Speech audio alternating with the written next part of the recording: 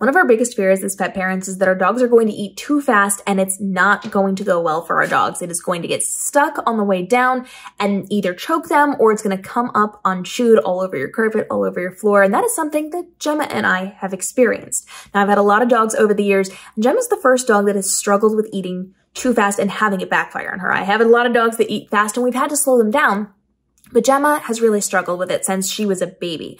Now, she started off by eating kind of slow, but her big sister gobbled up her food and she learned from her. And so she had an issue where she was eating too fast for her and it would get kind of stuck in her throat. She wouldn't chew and it would get stuck there. And on one occasion, I actually had to come and kind of give her the Heimlich. I had to press on her tummy to get it to come out because she had it stuck in her throat. I put my hand there. I could feel it. We got it right out. It wasn't a problem, but it was a scary thing for us to go through.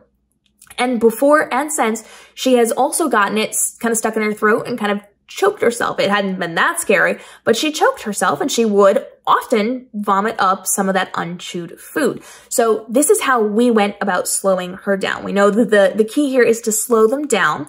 And we've talked about puzzle feeders and slow feeders before. I love those. My dogs love those. It's great for enrichment. We have review videos on some really great ones that I would love for you to check out. That's a great first solution or a great first step. But beyond that, and more importantly than that, we actually started hand feeding Gemma. And I had been hand feeding my girls when we started to realize this was, you know, a, a speed issue. We need to slow them down a little bit.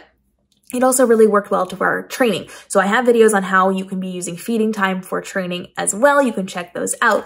I would hand feed Gemma and I had to be very clear about how much I was giving her because I hand feed both Lucy and Gemma and I will take a handful of food. They'll do a trick. They'll get their their bit of food. I can give Lucy more than I can give Gemma. Gemma has to have a much smaller amount. I can take a full handful and give it to Lucy. No problem. She eats it. We're good.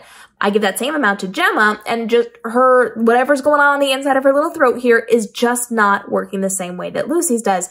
And she will cough, she'll sputter, she'll choke a little bit. We haven't had any huge occurrences, but she will, if there's too much, she just can't do it.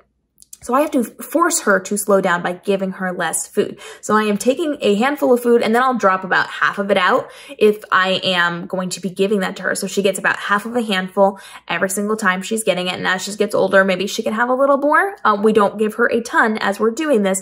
And that forces her to then slow down. If I want to give her more for a reward for one trick, I'll give her part of it, wait for her to finish swallowing, and then I'll give her the next part. But even so, I have to make sure she has fully chewed her food. So even in the last few days, she's several months old now. In the last few days, I've noticed she has gotten the last bit of food that I'd given her from her bowl and she looks up waiting to do her next trick, but she's got some of it squirreled away in her mouth. She's just waiting for that next bite. And so she has not fully finished chewing and swallowing before she tells me that she's ready for more. She is a little preemptive in telling me she's ready for more. And I've noticed a couple times that I've, I've given it to her because I thought she was done and it became a problem. She choked a little bit.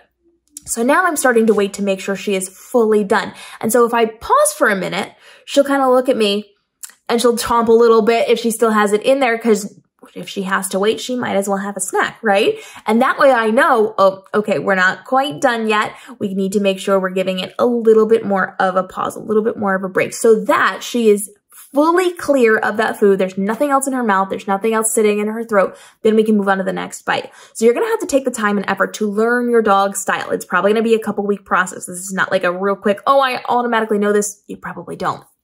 So at that point, you do want to hand feed. You want to give small amounts and you can increase it until you discover that there's an issue. So you're going to know where that line is by trying and testing it. Start smaller, couple pieces at a time, and then build up to see where that amount is going to fit for your specific dog. And again, this is very dog to dog, breed to breed, all those things.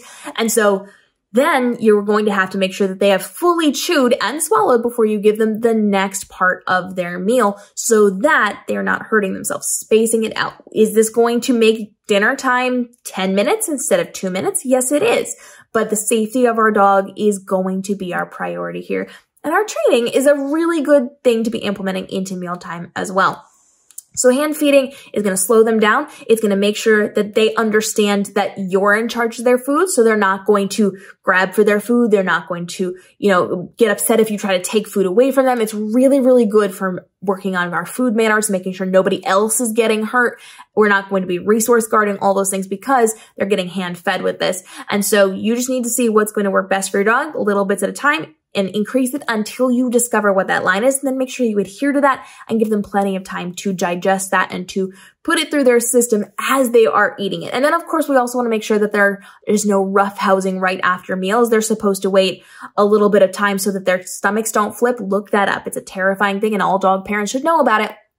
And that way we are not, you know, potentially causing any issues with their digestion right after they are eating. Again, I am not a vet. I am not a professional in this space. I just know that this is something you should be looking up and speaking to your vet about to make sure you're protecting your dog. But you want to make sure that they're kind of calm after they eat in general, but also for this, that, that, you know, rapid heavy movement, if they're playing with you or playing with their sibling or whatever, that could potentially cause some digestion issues as well and have things come back up. So just make sure that you are taking the time and effort to learn what their pace is and what their rate is, and then really implementing that into how you are feeding your dog. And then if they get really good as they're continuing to grow, then maybe you could try some puzzle feeders. So I always recommend starting with that hand feeding first, then going into the puzzle feeders if you have a dog that is choking on their food frequently. Other puppies that are not, jump right into the puzzle feeders. By all means, go for it. My girls love it. Your puppies will probably like it as well. And then if you are having issues like Gemma does, she's looking at me right now, you can start off by hand feeding and then work up to the puzzle feeders and then work up to whatever it is. If your dog learns how to settle and eat food slowly, you can put a bowl down when they get older in life if not, this is just something you're going with. This is what we're doing to protect those puppies. So drop your questions down below. If you want to talk about those puzzle feeders, you can check them out in our playlist for dog must-haves. We've got reviews, we've got different options, different ways that they work, different ways that you can be leveraging these. And so we are happy to test out those products for you if you've got questions on any of those or look any of those up. And we are dropping daily videos to help you navigate the life of being a dog parent so that you and your dog can thrive in this world. We are going to see you in the next episode answering your questions and making sure we're making the most out of our time with our pups. We'll see you there.